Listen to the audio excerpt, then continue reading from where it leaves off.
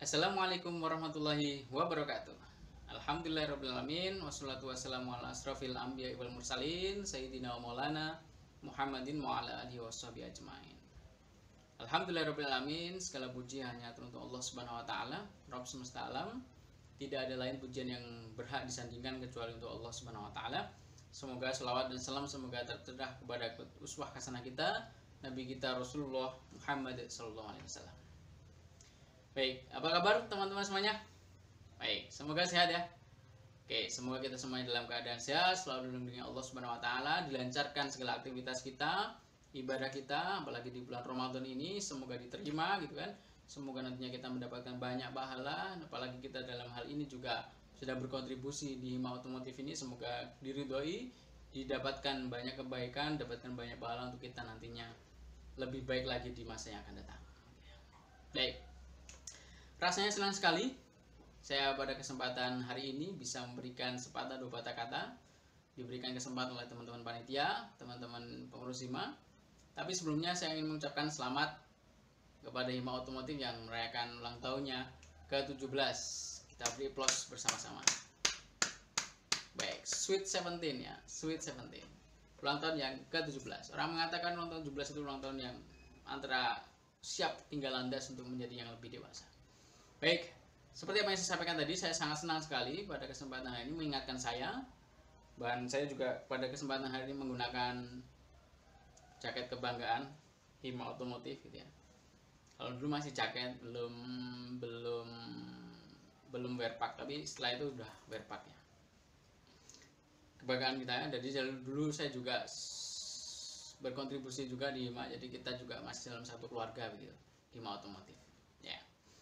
Dan ada dua hal yang ingin saya sampaikan pada kesempatan yang berbahagia ini. Dua hal penting yang mungkin eh, menjadi hal yang sangat uh, urgent untuk kita saya coba coba ingatkan kepada kita semuanya termasuk kepada saya sendiri gitu.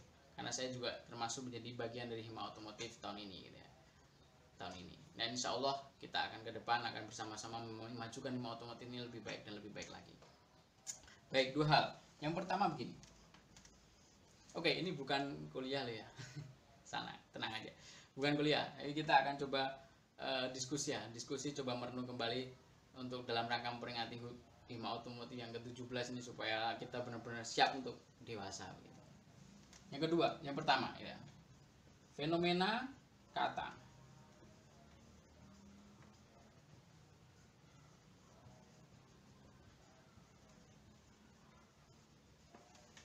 Perayaan versus peringatan Biasa kan merayak perayaan HUT Hima Otomotif 17. Peringatan HUT Hima Otomotif 17. Apa maksud saya kemudian saya memberikan hal yang pertama poin pertama ini berkaitan dengan ini? Ini berkaitan dengan mindset teman-teman semuanya. Ya.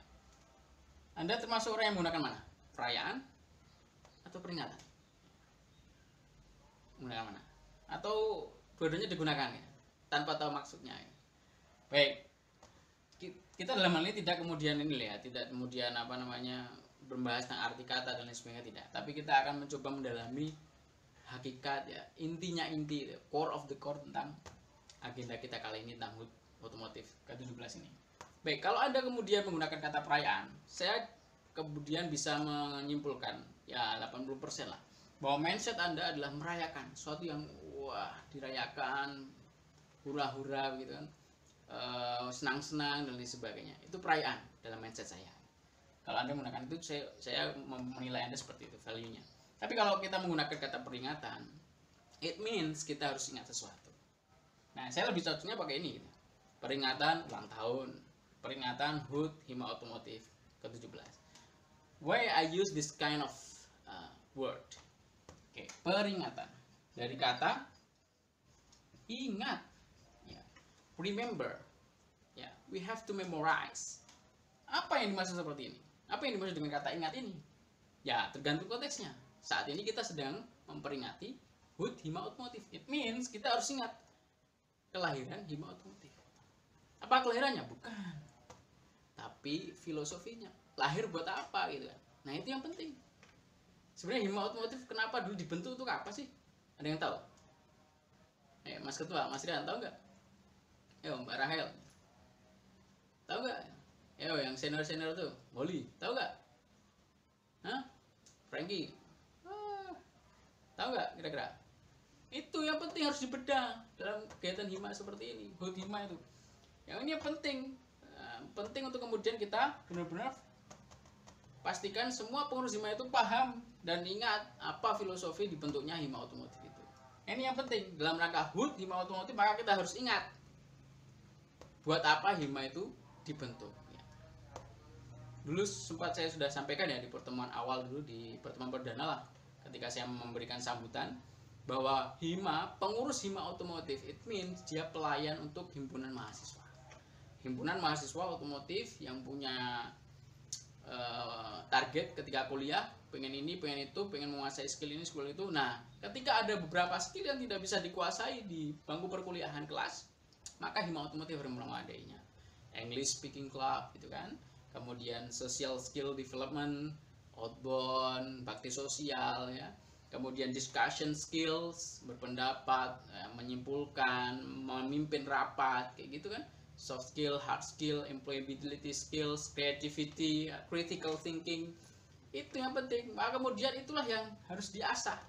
Kalau yang kalau himpunan mahasiswa saja atau mahasiswanya saja sudah diasah seperti itu, apalagi yang memfasilitasi kalian semua seorang pengurus, harusnya sudah sampai ke arah sana dan bisa manfaat mendapatkan manfaat dari adanya pengurus hima ini. Jadi pengurus hima ini. Ya. Ini yang penting. So, remember again, we have to memorize buat apa kita di hima gitu. buat apa hina ini dibentuk itu harus kita ulangi kembali kita remember lagi kita pertajam lagi. Kemudian yang kedua saya sering mengatakan keywordnya adalah mengabdi. Ya enggak ada yang dibayar ke hima nggak ada. Kita itu semua di sini mengabdi gitu. mengabdi untuk hima otomotif. Ya berkontribusi. Nah mungkin dengan kata mengabdi ini ada banyak orang yang kemudian wah sama ikut lah nggak dapat apa-apa itu eh tenang dulu. Ada sebuah ayat gitu ya di surat al isra maaf ini agama Islam ya. surat al isra ayat 7 kalau tidak salah. In ahsantum ahsantum li anfusikum. Wa in asatum falah in ahsantum barang siapa yang mengerjakan kebaikan ahsantum li anfusikum. Kebaikan tadi kembali lagi ke kita. Jadi ketika kita melakukan kebaikan kebaikan itu akan kembali ke kita. Don't worry be happy gitu kan. Santai. Kontribusi terus. Wa in asatum falah termasuk juga keburukan ketika dilakukan juga kembali. Mau dipilih saya tapi kita akan bahas yang kebaikan tadi. Ketika anda berkontribusi di hima otomotif melakukan banyak kebaikan bermanfaat bagi yang lain insya Allah kebaikan itu akan kembali ke kita. Tapi mungkin ada yang tidak langsung gitu ya. Tidak direct langsung dapat kebaikan dibalas digaji disanjung enggak. Tapi yakinlah ya yakinlah. Trust me it works. Ya, saya sudah membuktikannya ketika saya ikut organisasi termasuk di HIMA ini saya akan saya mendapat telah mendapatkan banyak kebaikan-kebaikan manfaat-manfaat di kemudian hari. Ya termasuk anda. Ketika anda berkontribusi di sini jangan sampai setengah-setengah. Kalau setengah-setengah ya udah. Jangan berharap kebaikan kemanfaatan akan datang ke anda gitu. kontribusi totalitas. Ketika anda melakukan kebaikan dengan ikhlas maka kebaikan itu akan kembali ke kita. Itu adalah filosofi dari kata mengabdi. Ya saya ingin menyegarkan kepadanya merefresh bahwa jangan sampai kita setengah-setengah di hima otomotif ya, jangan sampai setengah-setengah. Dan pada kesempatan ini saya juga mengapresiasi kepada teman-teman hima kemarin yang telah menjadi apa ya menjaga ya menyalurkan bantuan ke teman-teman otomotif mahasiswa yang tidak bisa pulang kampung. Nah walaupun anda harus sampai sore dan lain sebagainya saya beri apresiasi anda luar biasa saya salut ke anda. Semoga Allah memberikan yang terbaik bagi anda gitu ya berikan pahala yang terbaik bagi anda. Nah ini menjadi pelajaran berharga ini di dalam tim kita mengabdi dalam tim kan ya di Hima dalam tim jangan sampai ada satu atau dua satu aja jangan sampai meremehkan tugas yang telah diberikan. Ketika ada yang meremehkan satu saja maka dia akan menzolimi yang lain. Itulah. Pentingnya tim yang kuat pembentukan tim yang kuat jangan sampai ada yang meremehkan. Karena ketika ada yang meremehkan tugas maka akan ada terbebani lagi yang lainnya. Akan menzolimi yang lain sehingga timnya akan kurang solid. Nah ini pentingnya mengabdi. Ketika kita menyampaikan kebaikan insya Allah kebaikan itu akan datang kepada kita ikhlas saja lanjutkan semangat terus. Apa yang bisa kita lakukan? Kita lakukan gitu ya. Apa yang bisa kita lakukan? Kita lakukan. Kebaikan itu akan kembali ke kita. Nggak ke mana-mana. Itu baik. Dua ini hal, dua hal ini saja yang saya sampaikan. Untuk merefresh ya. Mohon maaf ini sambutan yang tidak layak kayak sambutan gitu tapi dan ini bukan kuliah tenang saja. Tapi saya hanya dalam rangka HUT yang ke-17 ini saya ingin mencoba memberikan sesuatu yang berbeda kepada Hima Otomotif supaya kita tetap semangat gitu. Tetap semangat tetap paham filosofi kita ikut Hima Otomotif itu apa. Jangan hanya sampai ikut-ikutan biar nggak biar ada nanti kalau anda setengah-setengah tidak pasti akan tidak dapat manfaat apa pun. Trust me it works ya. Jadi tetap semangat oke? Okay? tetap semangat terima kasih atas kesempatan yang diberikan. Sekali lagi selamat bagi Hima Otomotif ya. Dalam rangka peringatan HUT hari ulang tahun Hima Otomotif yang ke-17. Semoga semakin dewasa, semakin berkontribusi, semakin lebih baik dan lebih baik lagi. Salam otomotif. Kok diam? Oke, sekali lagi ya. Salam otomotif. Oke, otomotif Planeta Jos Jawara. Oke. Oke, Assalamualaikum warahmatullahi wabarakatuh.